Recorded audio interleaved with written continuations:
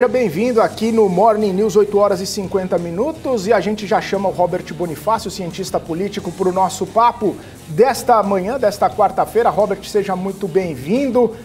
Boa, bom dia para você. Bom dia, Felipe. Bom dia, Isabela. Prazer estar com vocês. Prazer é nosso.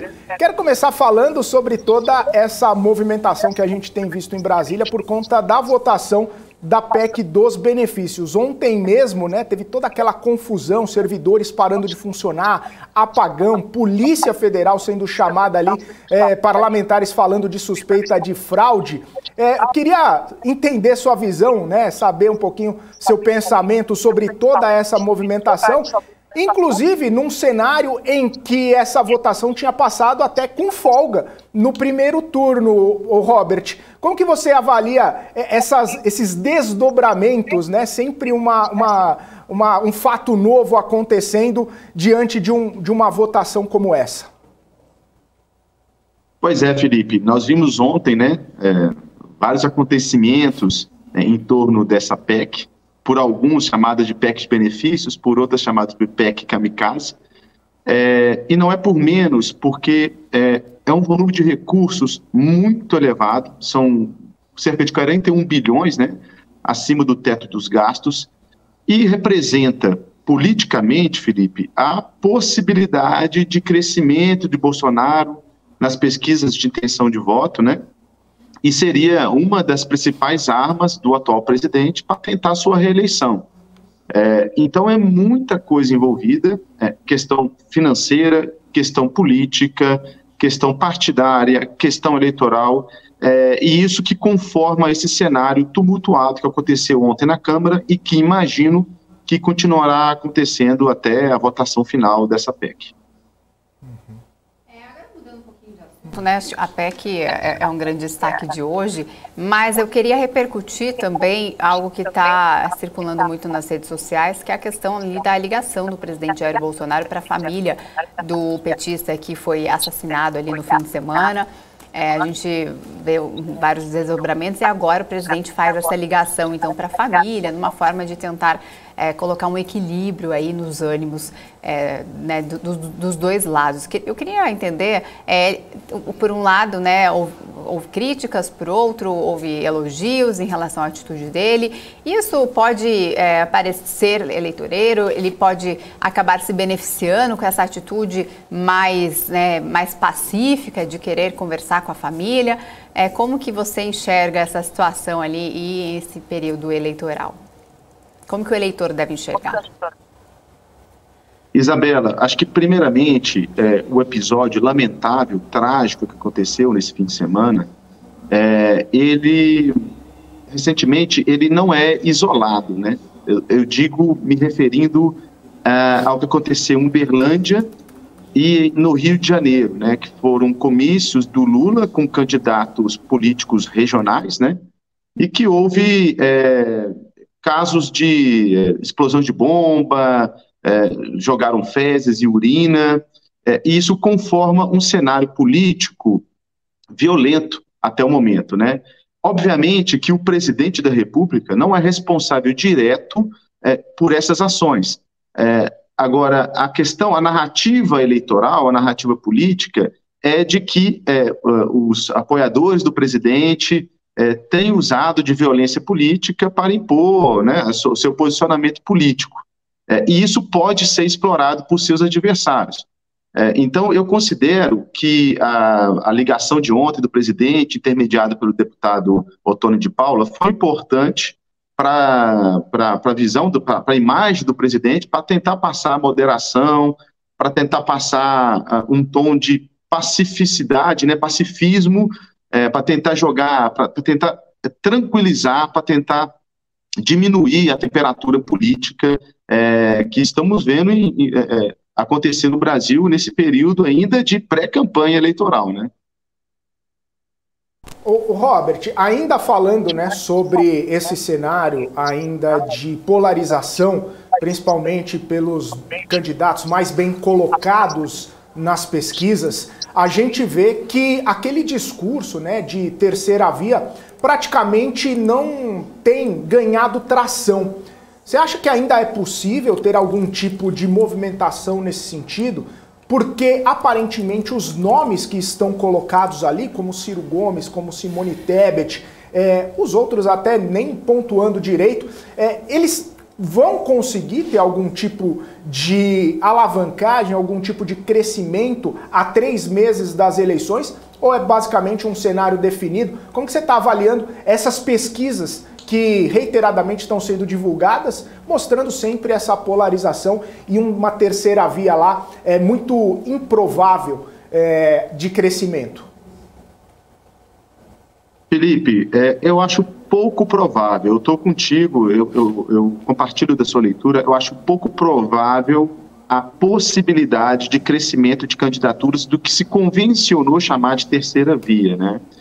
Porque para a gente né, chamar corretamente terceira via, teria que ter uma ou uma candidata que agregasse todas as, as outras forças políticas que não fosse Bolsonaro e Lula.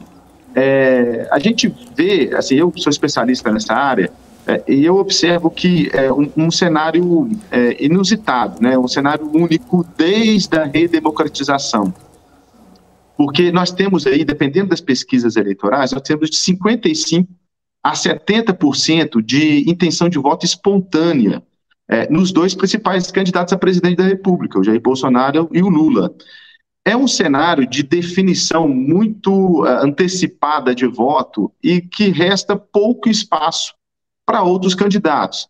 É, pensando nos outros candidatos, nós temos o Ciro Gomes, que já é conhecido do eleitorado e que hoje tem um patamar de intenção de votos menor do que a quantidade de votos válidos que teve em 2018. Foram 12%, e ele apresenta entre 8% e 10% no momento. Uma outra candidatura, que é da Simone Tebet, é, tá ali na, na, melhor das situações, na, na, na, pesquisa mais favorável a ela, tem 4% de intenção de voto. Então é muito difícil que esses candidatos é, cheguem é, próximo a um segundo colocado ou até é, ambicionem ter um segundo turno. É muito improvável. E a eleição vai ficar entre Lula e Bolsonaro. Né? O que a gente precisa analisar é se essa eleição vai ser decidida em primeiro turno ou se vai ser decidida em segundo turno. Eu acho que ainda tem um percentual de indecisos é, razoável. É, eu penso que no Brasil é, a campanha faz muita diferença. Nós temos um sistema partidário é, muito fragmentado baixa quantidade de filiados, é, baixo percentual de simpatizantes a um partido. Então, o contexto importa muito. Então, assim, esses 45 dias de campanha, eles serão muito importantes e eles vão movimentar um percentual de votos que pode fazer com que o, ex-presidente Lula seja eleito em, segundo, em primeiro turno ou que haja segundo turno entre Lula e Bolsonaro. Eu acho improvável que é, em havendo um segundo turno, que ele seja entre duas pessoas que não sejam Lula e Bolsonaro. É, se fala, tem se falado muito na a questão das abstenções, que pode ser bem preocupante aí nessas eleições. A gente viu lá no caso da Colômbia e do Chile, houve muitas abstenções, isso poderia ter definido, é, por um outro lado, essas eleições. E aqui também se fala muito em abstenção. Isso realmente pode é, acabar prejudicando algum dos candidatos ali, abstenções? Eu levantei dados é, recentes, de eleições recentes, de 2012 até 2020, é, e a gente observa algum padrão, sabe? Assim, é, primeiro que a, as abstenções mais os votos inválidos, né, que são os votos brancos e nulos, é, elas são maiores em eleições nacionais. Né? Então, nas eleições de 14 e de 18 foram maiores do que nas eleições de 12, 16 e 12 e 16. Em 2020, a gente tem um, um, um evento ímpar, né? que é a pandemia. É, eu penso que isso contribuiu para que houvesse recorde de abstenção e de votos inválidos. É, para a eleição de 2022, é, acende um alerta, porque esses números têm aumentado ao longo do tempo, né? Isso pode expressar, Isabela, uma é, insatisfação com as opções disponíveis. E eu penso que, dado a configuração do sistema eleitoral brasileiro, que é de voto obrigatório, a gente tende a ter maior abstenção e maior voto nulo, havendo essa polarização eleitoral vigente entre Lula e Bolsonaro. Né? Tudo bem, eles agregam a maior parte é, da preferência do eleitorado, porém, é, há uma parcela significativa do eleitorado que não se vê é, é identificada com ambos e não vê competitividade nos outros candidatos. Isso pode fazer com que a presença nas urnas e os votos inválidos cresçam. Né? Essa é a minha aposta é, para a eleição de 2022, comparado com a eleição de 2018. Né? Então, assim, a, a ver, né? Assim, é, é, como é obviamente que em 2022 não se tem voto só para presidente da República, mas é, certamente é, o voto para presidente da República é o que chama, é o que domina a agenda, é o que domina a pauta jornalística, e isso influencia na disposição do eleitor de ir às urnas ou de votar em relação a algum candidato. Então, eu estou aqui apostando né, na possibilidade de que em 2022 a gente vai ter recordes é, relativo a eleições nacionais é, sobre absenteísmo e sobre votos inválidos. Uhum. Ô Robert, ainda nesse sentido, né, a gente acompanha bastante, inclusive, as eleições lá nos Estados Unidos. O esforço lá é para fazer as pessoas votarem, irem, né, se deslocarem de casa até o local de votação, justamente por não ser obrigatório. Como você pontuou, aqui no Brasil é obrigatório, então as pessoas vão é, e às vezes até fazem esse voto de protesto, anulando, deixando em branco ou não indo efetivamente. É, essa, essa singularidade, essa particularidade aqui do Brasil é, faz com que a estratégia dos candidatos seja é, tentar reverter essa abstenção ou tentar reverter esse voto de protesto, esse voto é, branco, nulo, é, dos tentando né, puxar para os seus candidatos. Como existe essa polarização que a gente comentou, né, de uma terceira via não tão forte, não com musculatura para chegar num possível segundo turno, essa estratégia é, deveria ser um pouco mais enfática, um pouco mais é, forte ali para falar, olha, você tem que escolher entre um e outro, ou vota numa terceira via, alguma coisa assim. É, é essa a, a, pegada da campanha, ou para ganhar musculatura na terceira via, ou para de repente é, um dos dois candidatos ali despontar a mais no primeiro turno. É, é essa a estratégia das campanhas? Felipe, eu acho que os marqueteiros eles vão apostar nisso em alguma medida. É, vejam bem, é, a depender da pesquisa eleitoral vigente, é, uma diminuição da taxa de, de indeciso e a destinação desse, dessa intenção de voto por Lula ou faz ganhar em primeiro turno. Então, assim, embora os indecisos sejam a menor parte, né, é, dos eleitores é, faz diferença. É, é, a destinação dos votos dos indecisos faz diferença para ter primeiro, para a eleição acabar em primeiro ou em segundo turno. E como você bem disse, as eleições aqui são obrigatórias. Então, a maneira do cidadão que não está satisfeito com as opções eleitorais é ou faltar às urnas, né, mas isso lhe traz penalidades, ou é, ir às urnas e votar em nenhum candidato. Né? Então, assim, é, eu acredito que a estratégia é, das campanhas vai ser, em, em alguma medida, atrair esse eleitorado, especialmente na campanha presidencial, que a gente tem visto é, uma. É, é, ela está praticamente paralisada, né? Está assim, é, tá uma linha reta nas intenções de voto. O Bolsonaro estacionou em 30%, o Lula estacionou em 40%, 42%, é, e essas, é, essas intenções de voto estão cristalizadas. Então, o que está faltando aí, por exemplo, para o Lula ganhar primeiro turno, ou para o Bolsonaro garantir que haja um segundo turno? Que parte desses indecisos é, é, é entrem, né, assim, é, decidam o voto por um dos dois. E essa é a estratégia aqui do cenário brasileiro. Como você bem disse, nos Estados Unidos, voto facultativo. Você precisa decidir com, algum, tá, com alguma antecedência ao pleito se vai votar ou não. Então, lá, vale a pena ter uma campanha mais aguerrida, mais polarizada, é, é, mais conflitiva, porque isso chama os eleitores às urnas. Aqui a gente não precisa de chamar os eleitores às urnas, a gente precisa com que eles se definam em relação ao voto. Então, eu acho que ao, a, quando começar a campanha na, em rádio e TV, esses 45 dias, eu acho que boa parte dos esforços dos marqueteiros dos principais candidatos será tentar convencer os indecisos a se posicionar. E a gente viu essa corrida e essa tentativa, esse esforço do governo tentar diminuir o preço dos combustíveis para não afetar tanto a eleição, sabendo que o eleitor muitas vezes vota com bolso. A gente viu alguns, é, alguns preços já caindo né, desses combustíveis. Você acredita que realmente isso vai fazer efeito ali na diferença do voto, esse, essa queda no preço dos combustíveis? É, essa é uma, uma questão entre que está sendo debatida entre os especialistas, uh, e eu tendo a achar que sim, que isso tende a favorecer o Bolsonaro, não sei se muito, não sei se pouco, mas acho que tende a favorecer sim. A gente tem um cenário parecido é, em 2020, né, quando teve, no final do ano, o Auxílio Brasil, né, que é, proposto por, é, por 200 reais pelo presidente e pelo Congresso por 400 reais, é, que não teve muito efeito nas intenções de voto do presidente. Porém, agora o cenário é um pouco diferente, porque a artilharia está mais pesada. Você tem aí essa mudança da lei, né, do, do, do, percentual de CMS a ser cobrado em combustíveis, que diminuiu o preço dos combustíveis em todo o país. É, não diminuiu num patamar muito grande, está ali em torno de 10%, 15%, mas é, é, visível, né? a gente tinha o combustível, a gasolina, por exemplo, acima de R$ reais e hoje é, no patamar de seis ou cinco, é, cinco e, e, e, muitas coisas, né? próximo a seis reais. E você, se aprovado essa PEC que está em vigência, né?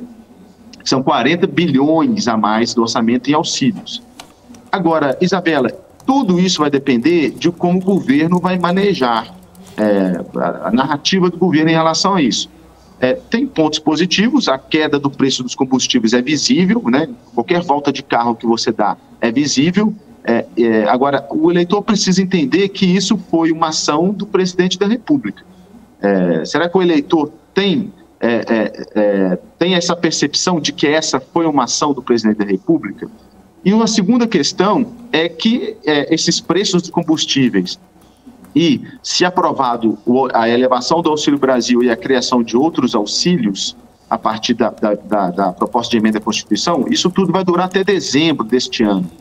É, será que o eleitor vai ver que é, é, isso que foi possível ser feito ou que isso foi feito apenas por uma questão eleitoral, né? pensando nas urnas? Então, a história precisa ser contada. E a gente precisa ver como que o Bolsonaro vai contar essa história como que os seus adversários vão contar essa história e o que, que pega, qual argumento que pega melhor entre o eleitorado. Robert, é, você até falou, né? Depende de como que o governo vai usar essa estratégia, vai usar essa narrativa. A gente vê né, bastante discussão sobre a oposição também, né? É, por exemplo, é, redução do ICMS, PEC dos benefícios, é, a oposição praticamente dando ali para o governo a vitória nesses temas, né? Votando a favor, colocando o seu voto a favor, porque fala que não pode votar contra a população. Porém, a gente lê várias críticas da própria oposição falando que isso é dar armamento para o, entre aspas, inimigo porque essa redução dos combustíveis, esse auxílio Brasil maior, esse voucher para os caminhoneiros vai ser sentido daqui a alguns meses, praticamente na beira lá da eleição, praticamente em é, setembro, comecinho de outubro, quando a, a, a eleição vai estar tá pegando mais fogo do que já está pegando agora. É, eu queria que você desse um, uma visão geral assim da estratégia, né, ou pelo menos como você percebe, essa estratégia da oposição que, pelo que a gente tem lido, está meio entre a cruz e a espada ali. Entre votar como governo e votar contra a população, entre aspas, né? Votar é, de acordo com a sua ideologia, de acordo com a sua percepção política, porém tendo ou correndo o risco de ser mal interpretado. Como que você avalia né, essa, essa sinuca de bico que a oposição se colocou nesse momento? Pois é, Felipe, eu acho que foi uma sacada de mestre a articulação política do governo em relação a isso. A gente precisa reconhecer é, que eles foram muito exitosos, porque colocaram em cima da mesa uma questão que é difícil dizer não. Né? Assim, é uma questão que, é, tecnicamente, economicamente, é, ela é totalmente equivocada. Você fura o teto dos gastos, isso vai trazer é, uma diminuição de investimento em outras áreas, como educação. Isso vai trazer aumento da, provavelmente um aumento da taxa de juros Selic, da taxa de juros básica, uma diminuição do crédito dos investidores estrangeiros para o Brasil. Porém, né, é, como agentes políticos que são, fica difícil. Talvez a oposição vai tentar tirar algum coelho da cartola no que tange a tramitação, ao aspecto legal dessa PEC. E não, é, é, não, eu acho que não haverá um esforço de votar contra ela. Bom, é, ainda nesse sentido, né, que não, vai haver um esforço, né, até porque o Brasil está de olho em quem está votando a favor ou contra esses benefícios. Mas é, tem uma outra artimanha aí que a oposição está tentando usar para tentar é, ir contra o governo, que é a questão ali do, da retirada da emergência da PEC, do estado de emergência. O governo só pode fazer esse tipo de auxílio, esse tipo de PEC, né, colocar, é, é, dar andamento a esse tipo de PEC por conta do estado de emergência, né, senão iria caracterizar ali um, até um crime eleitoral. E justamente esse ponto a oposição está tentando retirar esse estado de emergência. Como é que é, as pessoas devem enxergar? É muito contraditório, né? Eles querem, eles votam pelo auxílio, mas eles tentam articular a retirada do estado de emergência. Como é que você enxerga isso?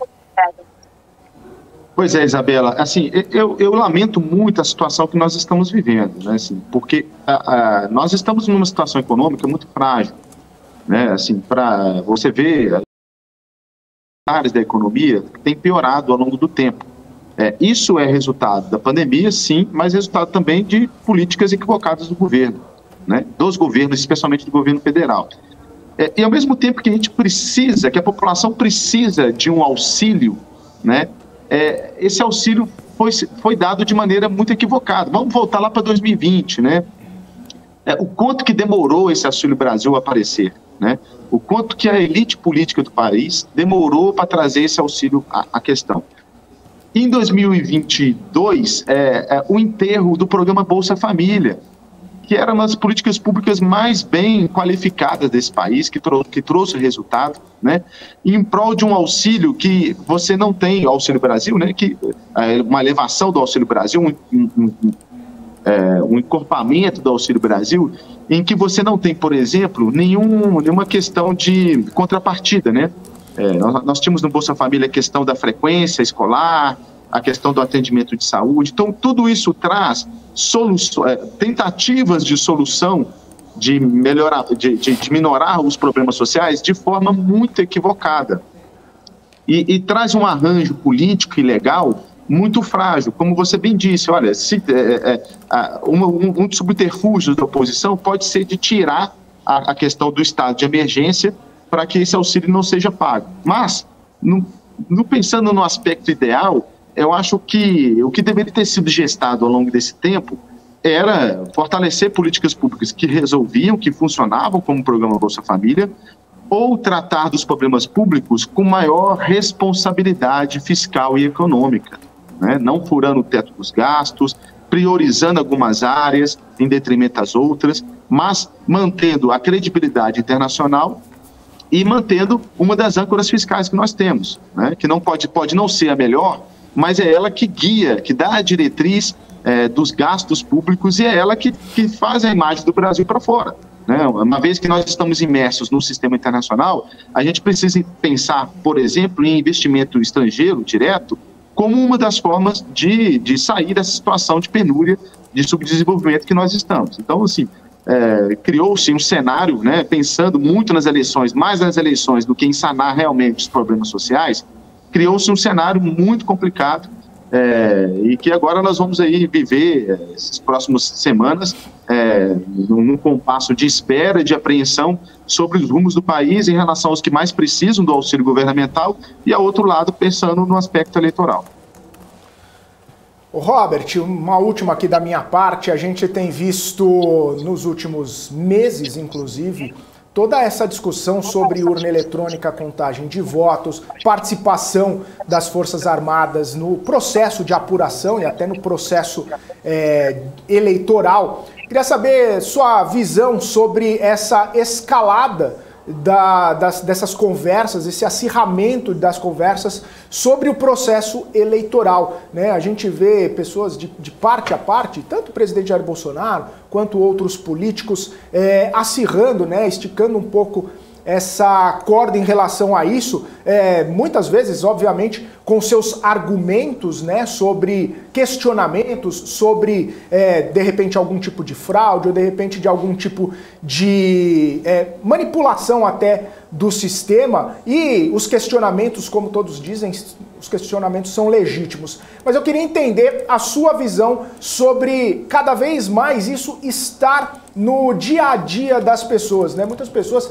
é, comentando sobre isso. Anteriormente a gente o processo eleitoral era em quem vamos votar, como vamos votar, os candidatos, as propostas. Hoje, mais esse elemento acabou entrando na pauta de discussão e está mudando, e está mexendo, inclusive, com os ânimos dos eleitores. Como você avalia essa situação especificamente e também a discussão, a relação entre os poderes nesse quesito?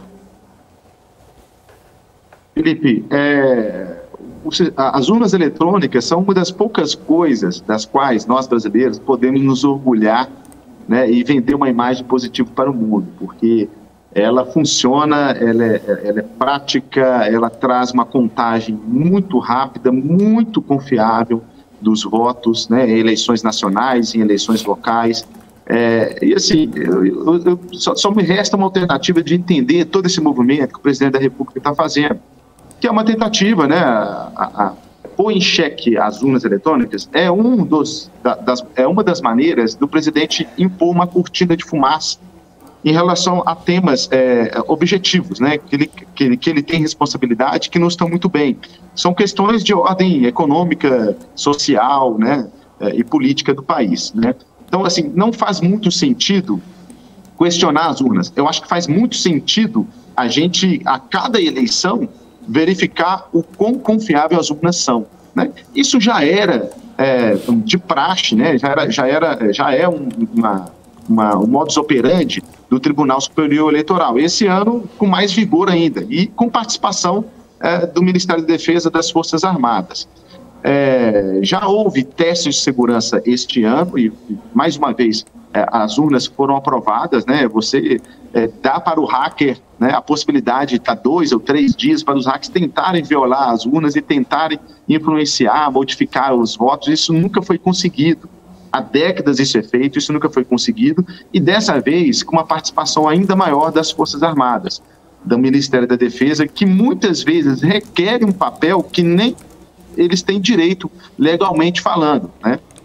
porque a participação do Ministério da Defesa das Forças Armadas, eles vão até certo ponto. Né? Todo o acompanhamento, todo o processo é de responsabilidade do Tribunal Superior, Superior Eleitoral. Então, esse ano, os testes das urnas já mostraram que elas são confiáveis. Então, as eleições de 2022, no, no que tange a, a, a, a, votação e a contabilização dos votos, a gente pode ter muita segurança de como as coisas vão acontecer. Agora, isso é conforma todo um cenário de cortina de fumaça, de desacreditação, das urnas.